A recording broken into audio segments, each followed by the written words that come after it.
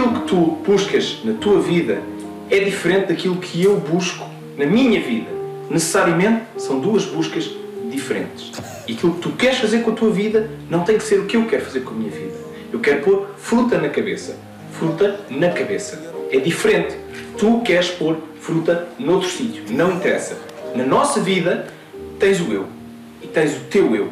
Ok? Eu e o teu eu. São eus diferentes, com necessidades diferentes. Mas o meu eu está acima do teu eu. Porque o meu eu eu amo mais. Ok? E portanto, no futuro, conforme tu quiseres subir para estares acima do que estás agora, tu tens que te amar muito para poder estar acima do que estás agora. Porque o meu eu, eu estou a amá-lo mais. Ok? Isto para mim é verdade. Ok? Portanto, agora o que tu tens que fazer é de continuar a subir para chegares onde está o astral do teu eu. O teu eu pessoal, a tua realização pessoal. Ok? Porque na vida nós procuramos uma porta e vamos ter que a abrir. Mas para abrir, a gente vai ter que rodar a maçaneta.